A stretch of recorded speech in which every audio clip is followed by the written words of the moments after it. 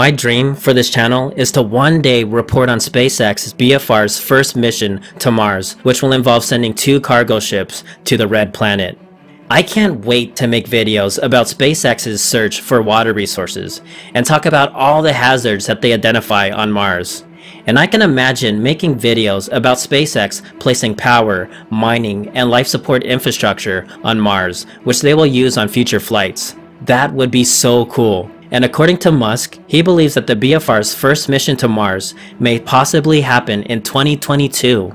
It's hard to imagine SpaceX developing a 106 meter long reusable rocket with the payload capacity of 150,000 kilograms to low Earth orbit in just four years. But I feel a little better knowing that SpaceX may receive government funding for the development of the BFR. On November 17th, SpaceX President Gwynne Shotwell spoke at the 2017 New Space Europe conference in Luxembourg. Shotwell said that SpaceX expects to receive additional funding from the US government for the BFR. She is most likely talking about the US Air Force's Evolved Expendable Launch Vehicle Program, or EELV. I made a video covering the backstory behind the EELV, so if you want to learn more about that, click on the notification card at the top of the screen. Alright, there are new details about the EELV since I first covered the topic back in November, and we now know what to expect from the program moving forward. You see, the Air Force wants their national security space missions to be launched by all American launch vehicles, and they plan to fund significant portions of the development cost of three launch vehicles. And this is a huge, huge deal that will have a tremendous impact on the future of the commercial space industry. The deadline for submissions to bid for an EELV contract was on November 20th. Let's take a quick look at the next generation rockets that are in the running or possibly in the running for an EELV contract. First is Orbital ATK's Next Generation Launcher, or NGL. The NGL is a three-stage rocket capable of launching up to over 10,000 kilograms to a geosynchronous transfer orbit, or GTO. While it's really nice to see Orbital ATK break into the intermediate and heavy class, which is a great achievement, it's disappointing to see that they're not pushing the envelope and pursuing reusability. Next is the ULA's Vulcan. The Vulcan is a two-stage rocket capable of launching 23,000 kilograms to GTO. The Vulcan will be partially reusable because they plan to recover the main engine with a heat shield and parachute. Although this is not as compelling as landing a booster, at least the ULA is taking a step toward reusability. The Vulcan is scheduled to be completed by mid-2020.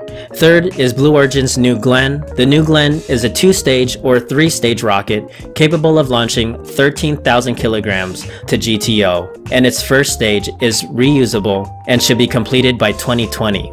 I made a video covering the new Glenn in more detail, so if you want to learn more, click on the notification card. Alright, and lastly is the BFR. So far, Orbital ATK and the ULA are the only ones who have confirmed their bids. According to Aviation Week, SpaceX and Blue Origin have not confirmed their submissions yet, but are considered wildcards in the competition. But with the Air Force willing to subsidize three launch vehicles, it's a safe bet that SpaceX did indeed submit a bid.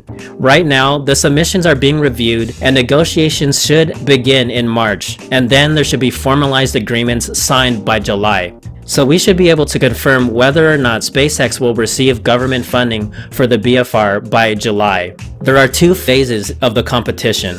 The first phase will consist of the three selected companies and rockets, which the Air Force will subsidize the development of the launch vehicle prototypes through fiscal year 2020.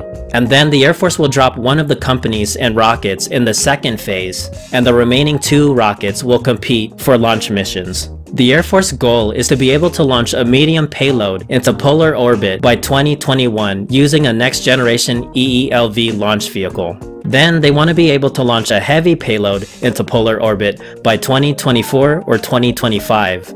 And then by 2026, they want to be able to launch a heavy payload into geostationary orbit. So if SpaceX is selected, they will have an even earlier completion target by a whole year, which I think would be really cool because SpaceX would have to really get into gear and build the prototype quickly. And I don't know about you, I want to see the BFR as soon as possible. So I really, really hope SpaceX receives government funding for the BFR. And don't worry, once I find out whether or not SpaceX receives government funding for the BFR, I will definitely make a video right away.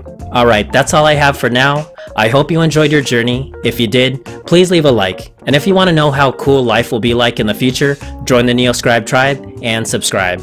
I am Neoscribe, and this is the end of our journey.